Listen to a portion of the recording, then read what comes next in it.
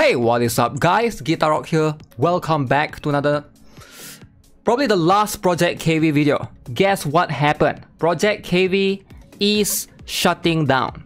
Alright, so you can see they released a post 3 hours ago and apparently they've announced that they will be closing it entirely. They will no longer continue working on this particular game.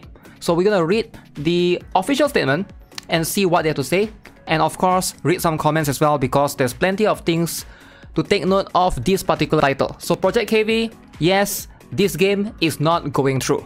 Now, in case there are any of you guys that missed my previous video, let's show you guys a little bit of showcase of what this game is all about, right?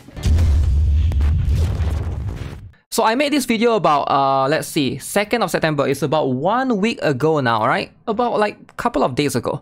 So this is how the premise of the game is like. So it's very similar to Blue Archive.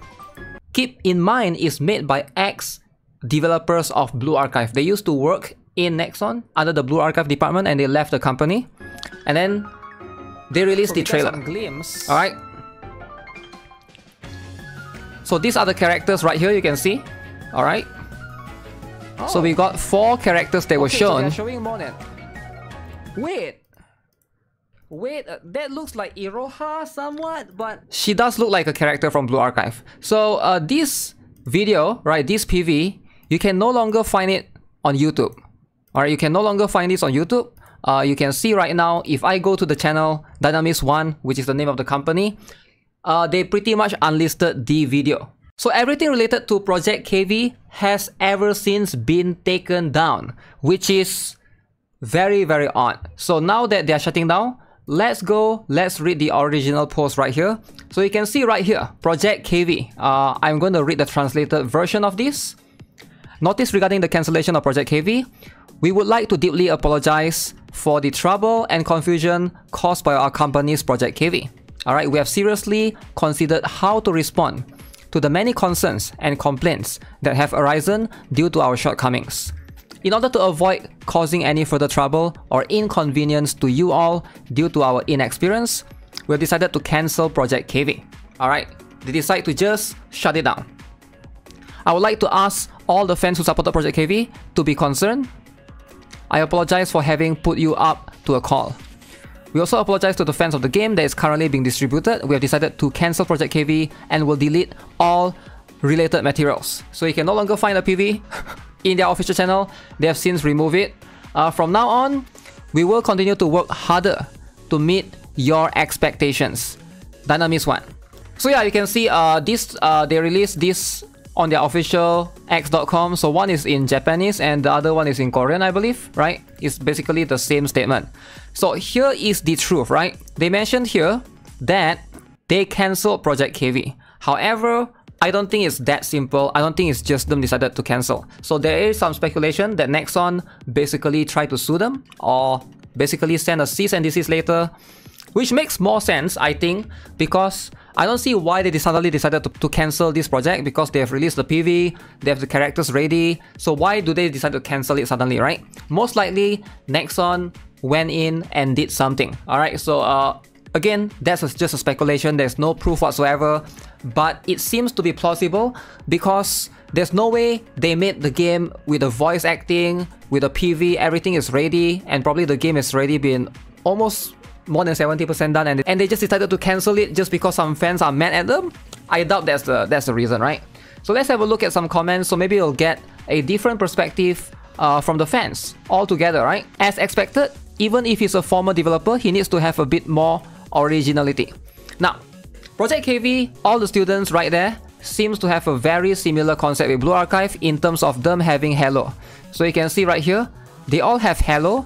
So this is one thing that you will see a lot of similarity with Blue Archive. However, the character seems to be using swords as opposed to guns. So at least in that aspect, it seems to be entirely different.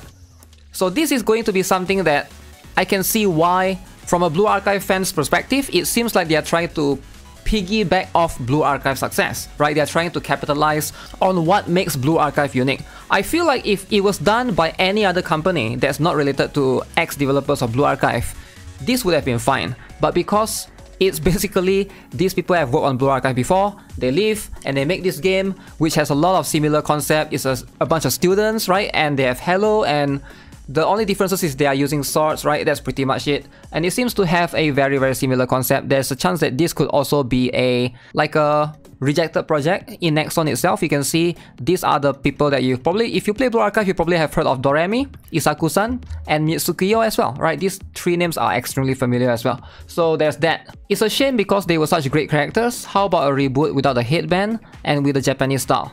So people are hoping for that they would try a different approach altogether. I'm sure there were people including me who were looking forward to it, but it was all because of the otakus who made an unnecessary fuss over things that weren't true. I want to say don't mess with me. I wonder if the artists who defected from Blue Archive will be able to return. Yeah, it's up to the company, right? I, I think like at this point it's really difficult. Probably they should just work on a different project altogether and just scrap Project KV altogether and try to make something more original. If that's going to be the case, it is unfortunate in some ways, but the difficult start meant that Japanese and Korean fans and stakeholders were unable to support the project as it was. So I appreciate the decision to cancel it. Hmm. Okay, this, there's one more essay right here. Uh, that's right. Even if you are a former developer, it's important to incorporate originality and new elements into your new projects and characters. Uh, I would say this is going to be the best way to move forward, right, with these kind of things, by taking advantage of your existing knowledge and experience and adding original elements and new perspectives, you may be able to provide more fresh and appealing content. Being unique will differentiate you from others and increase the chances of being supported by many people. However, going this route means that it's harder for them because like making an original IP is always going to be much more difficult and more risky. I would say the term is going to be riskier because when you can't piggyback Blue Archive, you're probably going to make like an, an entirely new thing and you have to capture an entirely new audience as well. Alright, so big news. Uh, the artist Doremi just made a tweet as well, so let's see if you can check it out. So Doremi is one of the person involved in Blue Archive previously and now Project KV. And you can see this person has ever since uh, retweeted or reposted that particular post from Project KV. So let's have a look at what these two posts says uh, one hour ago. So you can see one is in Japanese and one is in Korean. Okay, I believe it's the same thing. I would like to express my sincere gratitude to everyone who has shown, who has cooperated with me, supported me, and shown an interest in me. Although the project has been cancelled, we will continue to work hard to show you a better performance. Thank you for your continued support.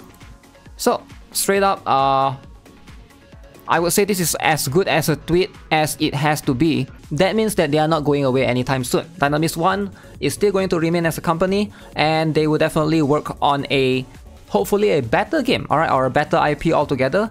That is what fans want and I believe these two are the same thing.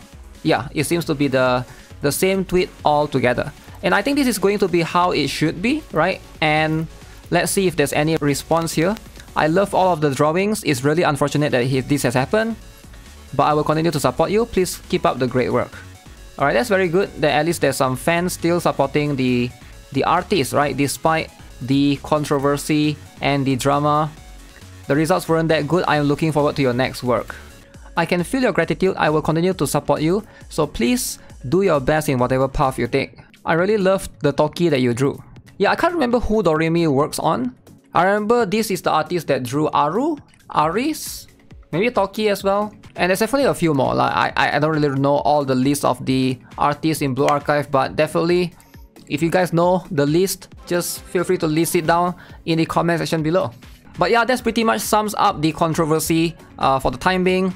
Until we got more news later on, then definitely I'll try to see if uh, we can talk more about this. But for now, Damn, it is a little bit unfortunate that Project KV shutting down.